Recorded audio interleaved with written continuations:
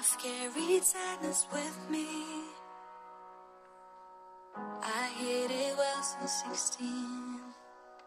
And all the crying, all the fighting, he kept putting out the fire that burns so bright within me. As I look back through all these years to broken dreams, disguising fear, being someone that I'm really not. Now I drowning in my bed and life has gone out of my hands. Happiness